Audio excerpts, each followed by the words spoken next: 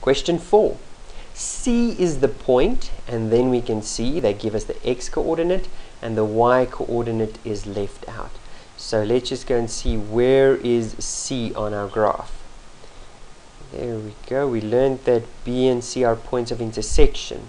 So there is C. C is on the graph of G as well as on the graph of F. That means that we can either use the function formula for f and substitute the x that we are given or we can use the function formula for g and substitute the x that we were given there.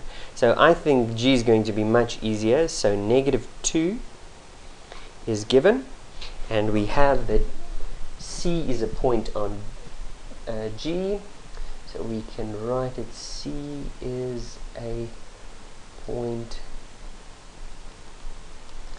on G.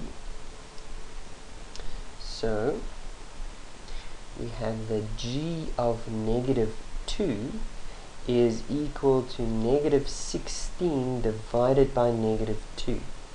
And that gives me an answer of positive 8. Which tells me that C is the point negative 2 comma 8. We'll type it in. Negative 2 and 8.